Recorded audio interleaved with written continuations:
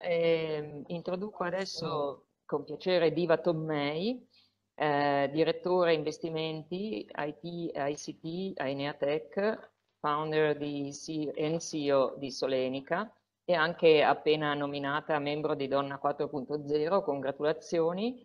So I just said uh, I'm going to introduce uh, Diva Tomei. Which she is Director of Investment at IT ICT Enea Tech, founder and CEO of Solenica, and just nominated member of uh, Donna 4.0. She is going to speak about technologies of the futures, investments, impact, and ethics. So Diva, um, thank you. Thank you so much. Eight, um, 10 minutes, okay? Sure. Yeah. I hope you can hear me. Yes, right? we can. Okay, fantastic. Yeah. Thank you so much for the kind uh, introduction and for giving me the opportunity to uh, do a little bit of uh, sort of uh, brainstorming on something that I, have always felt was really, really important. Um, let me start by saying that I think today we are living at a crossroads with many new deals coming about that are necessary from the policy standpoint as well as the technology standpoint in order for um, you know modern society modern civilization to keep doing well on this planet for generations to come so when we say new deal we immediately think of the green new deal in the us its equivalent in europe and even internationally with the cop26 conference taking place in glasgow just last week we have a clear uh, concept on the sustainability uh, sort of part of this New Deal. But um, I think another New Deal that is ushering in is uh, what I like to call a New Deal on data. Now, why is a New Deal on data necessary? Um, well, uh, technology often accelerates us in a direction much faster than we are anticipated and in directions that uh, are not necessarily uh, at times directions we even understand when we start on the journey, right? And it's hard for us at times to understand what is happening on a societal scale. Um, but with data having become undeniably the next currency, uh, we need to start paying extra attention today to this topic. Why? So let's let's think about this. On, on the one side, um, we have a digital divide that is affecting minorities and women greatly because some parts of this planet are simply not connected.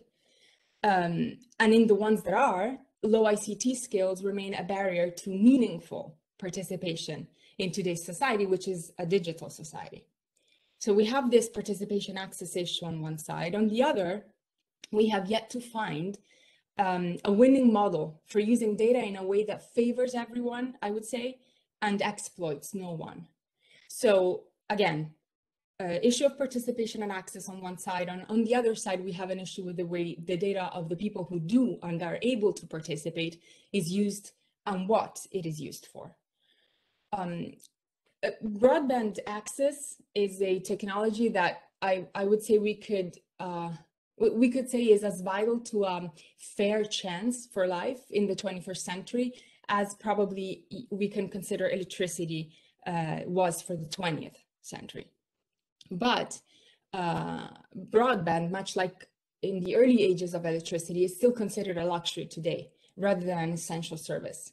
So if if we try and readopt those goals of universal access that we did adopt when we were uh, trying to distribute equally water, electricity, the, the road systems, but giving it a specific focus on the 21st century access, which by definition is internet access, um, we can probably start making a difference in this debate and think of bringing internet back to uh, its you know egalitarian roots.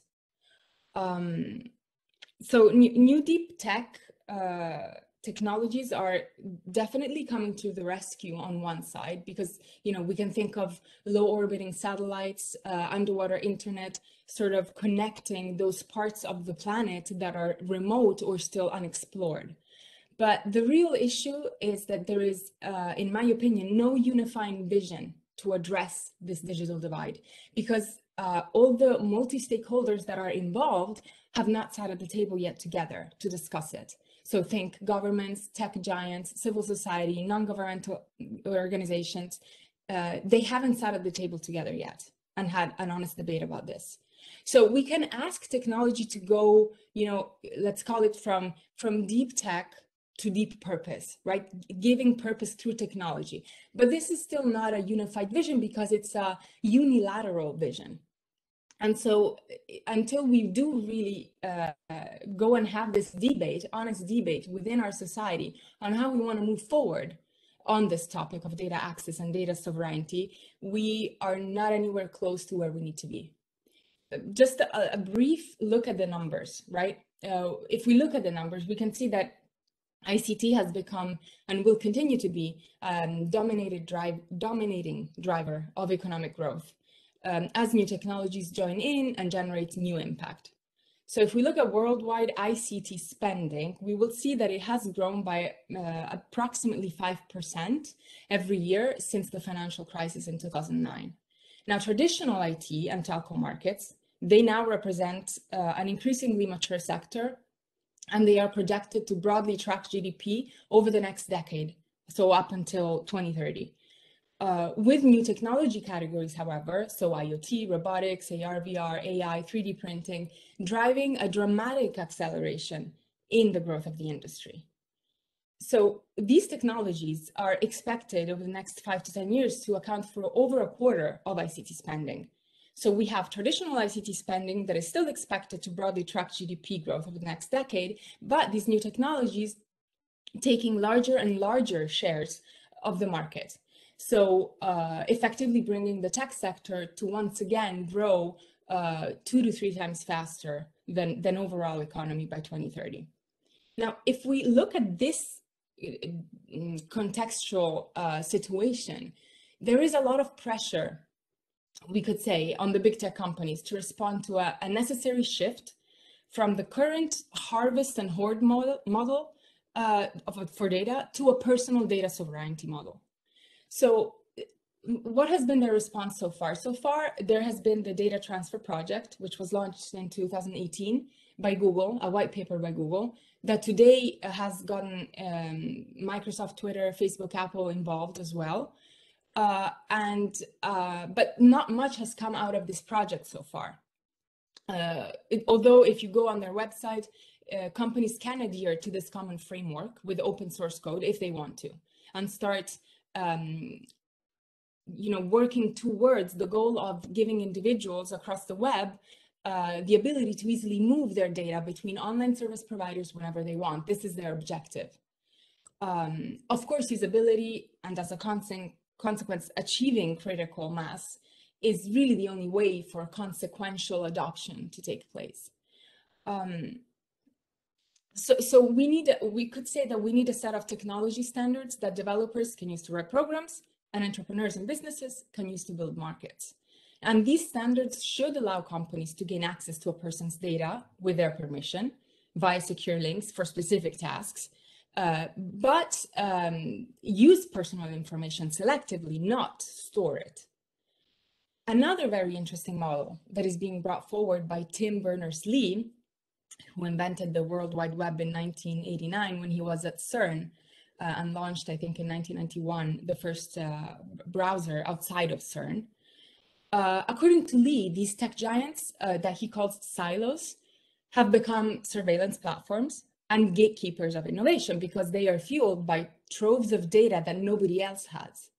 And so even though regulators hit them with antitrust suits and antitrust, we can argue has been an effective regulation tool in the past in other industries, think of food industry, semiconductors.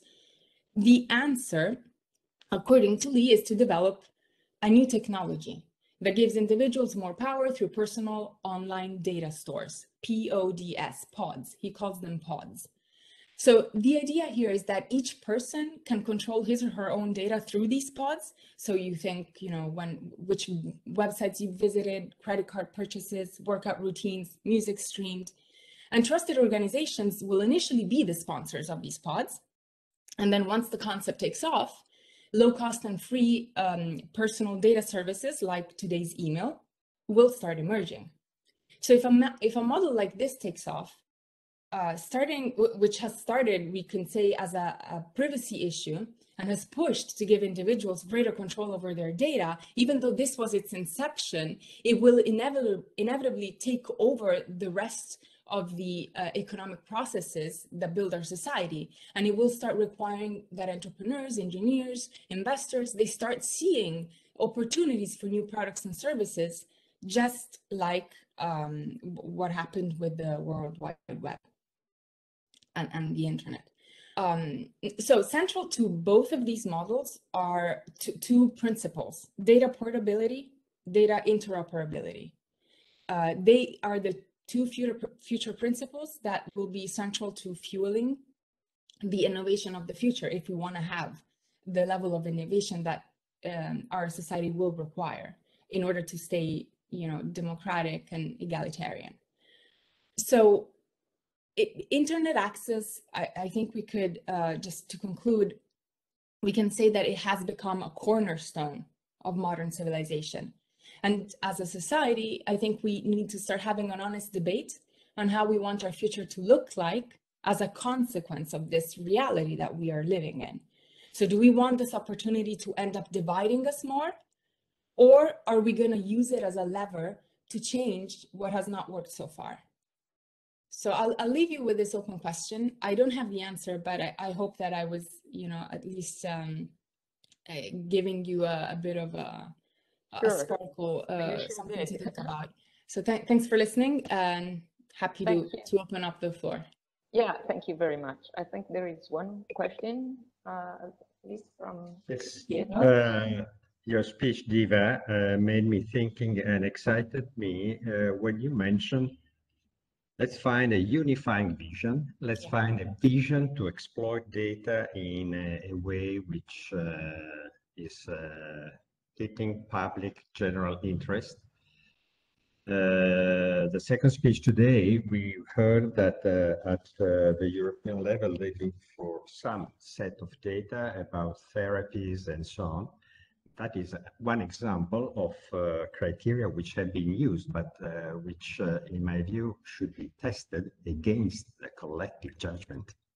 So your speech made me thinking that a way forward may be is to consider and use the experience that we have had uh, in the last 30 years in the field of uh, infrastructures.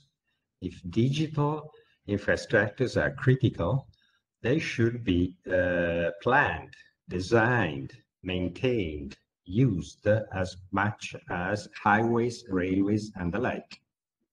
Hence, it should follow an environmental impact assessment, a social impact assessment, a process of stakeholders engagement, and so on.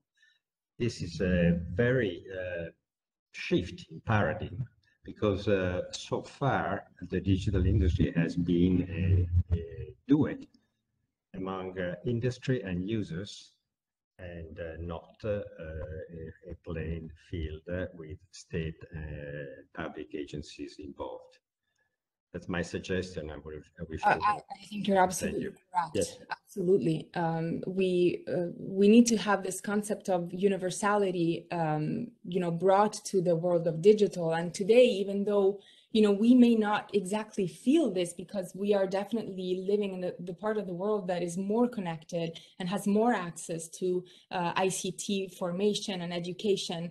Um, you know, we are we are kind of um, making um, a, bigger and bigger gap between us and the people who are still lagging behind and who you know they're, they're still in the electricity wave trying to get electricity so we really need to take this opportunity uh, to to think about this and how we want to move forward because this is is a real game changer i feel uh, for the future generations and um, sorry yeah. to interrupt you, but there is something, there is a question that it's right in, in this, um, following your words, in fact, is uh, uh, how do you think it is possible to sit government, tech giants, etc., at the same table, think about uh, what kind of society we want, right?